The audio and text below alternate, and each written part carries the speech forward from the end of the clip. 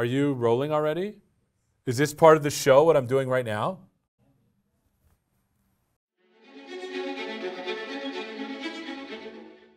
Hello and welcome to this episode of the AI Show. My name is Seth Juarez, and we're going to talk all about machine learning models, what they are, how to make them, and then why we would actually, how, what the process is to actually make them and why. So let me start with a couple of basic concepts, and we'll go through this super fast because I want you to, to understand what's going on because I had a hard time with it. I was a programmer and then did data science afterwards. So generally as a programmer, when you solve a problem, what you do is you make a function, you get some input, and out comes some answers.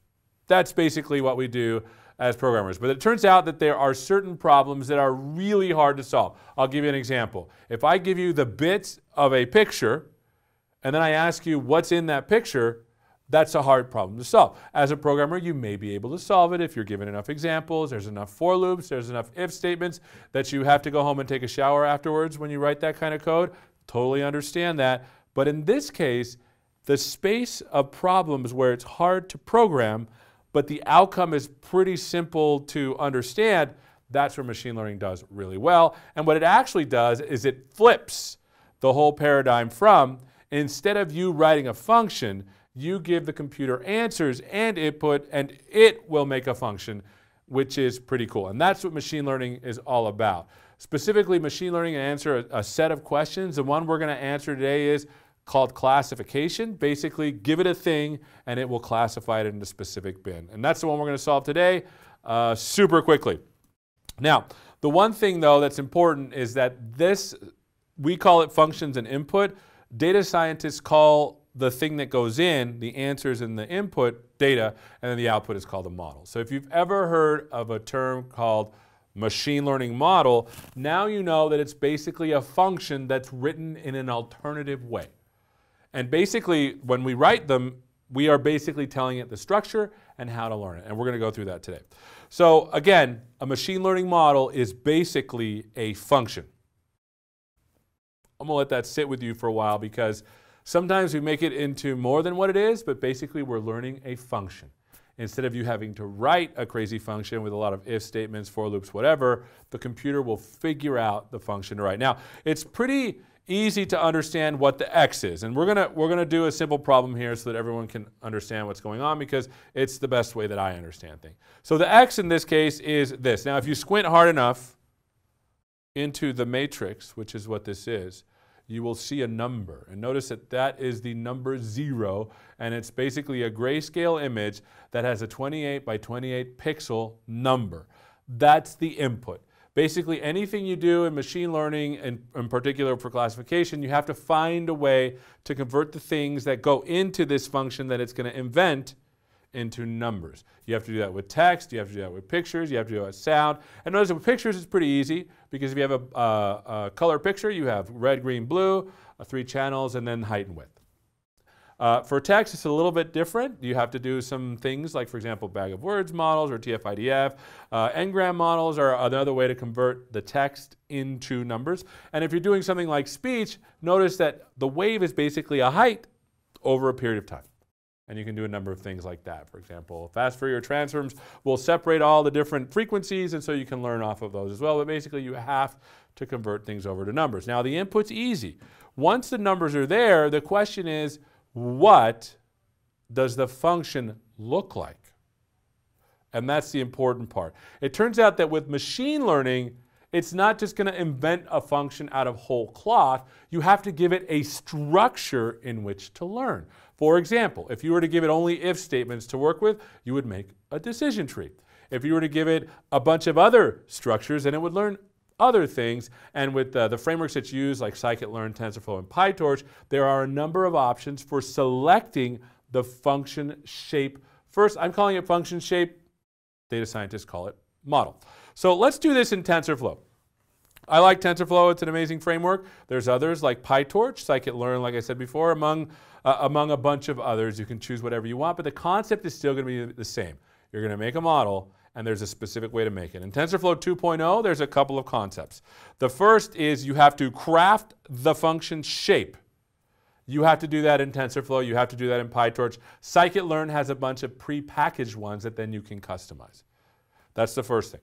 The second thing you have to do is you optimize the model using a cost slash loss function and an optimizer. Now again, the model is the function that you're going to execute. The cost and loss function tells you how bad you are at, how bad the model is at it, and the optimizer's job is to take that bad function and say, we want to make you as less bad as possible.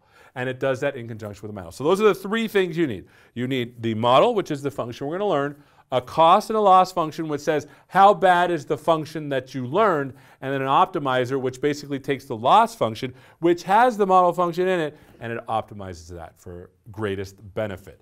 Now, once you have the model, you use the model to make predictions because again, it's basically a function. And the output is just a file like a jar file or an assembly file. The model is just a function that you call. It has a funny looking input. Like we said, it has to be only numbers and the output can sometimes be a little funny, but that's basically what it is. All right, so let's talk about these concepts a little bit more so that you can get a sense for them. The first is the model. That's the h of, h of x function that we want to figure out. It's any function. Remember that the, we wanted to see what was in a picture and it was hard to write that function. So any function like that that's hard to write, that's the model function that we're going to use to execute.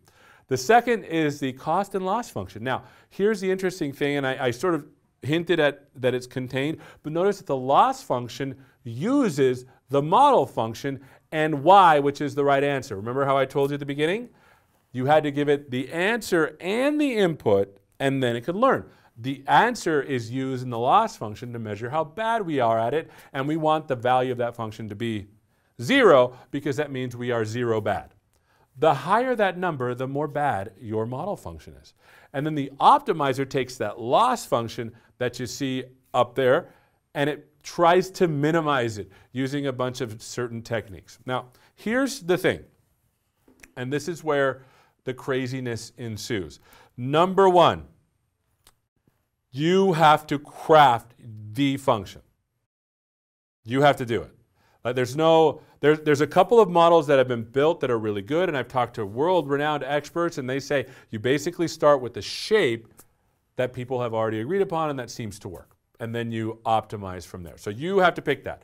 So notice that the machine isn't like learning stuff out of whole cloth. You have to give it a direction in which to learn, and you do that through crafting the model function.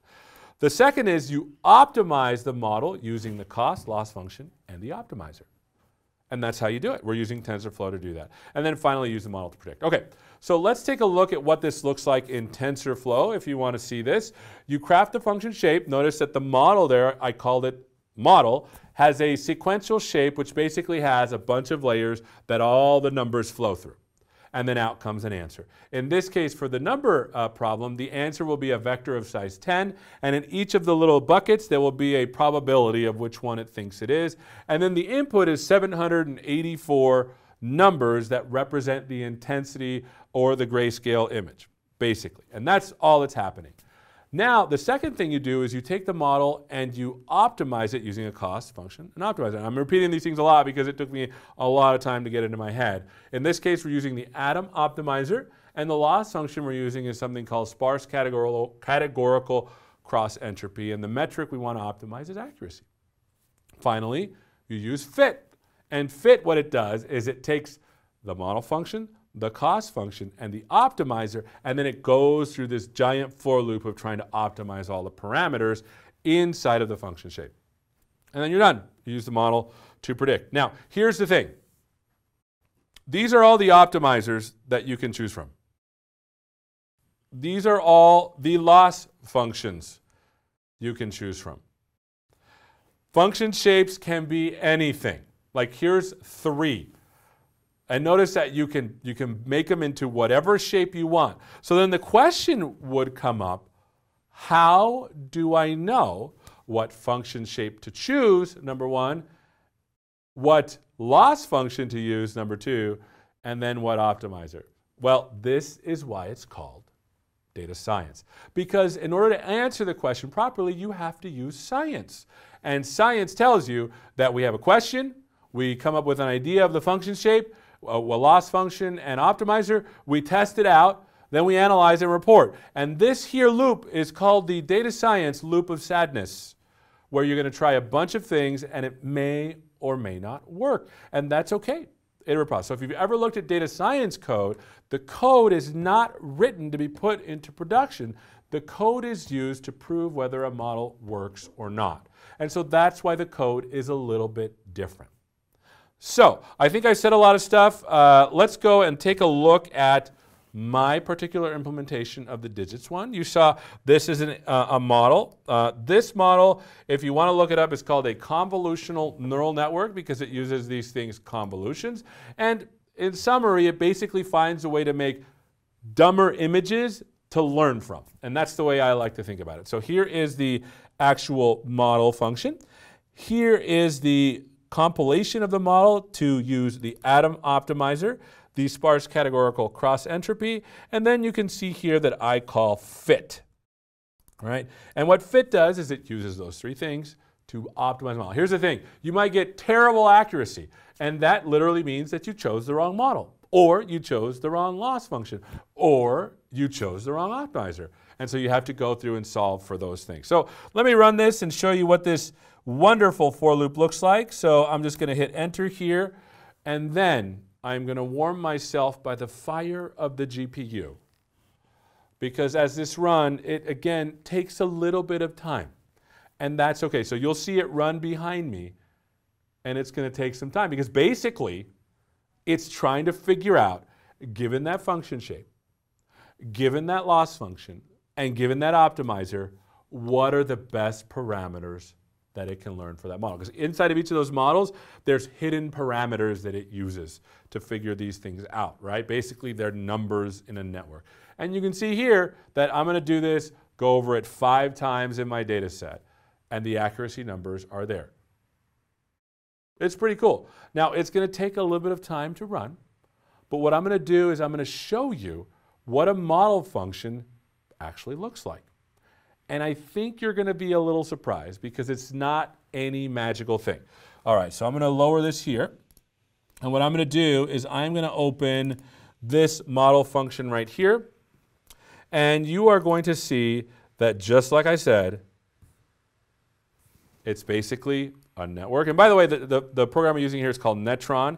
When I save the model out to ONNX or, or to an HDF5, which is a Keras file, Basically, it'll load it up. And if you look inside of the actual AI model, there's no flying unicorns or anything. Basically, it's just numbers. And these numbers, as you hear my machine cranking through, are learned through in this iterative process. And it may not work the first time, it may not work the second time, but the idea is that it's going to learn the right thing. So we are almost done with epoch number five. In this case, you can see that it gets 99% accuracy and it saved the file here to latest HDF5. And that's the file, my friends, that's the artifact of the machine learning process. Okay, we've spent about 13 minutes going over what machine learning models are. If you'd like to learn more, go to aka.ms, machine learning models, and I'll have much better documentation there and things that you can do to optimize your own models. Thank you so much for watching. We'll see you next time. My name is Seth Juarez. This is the AI Show. Take care.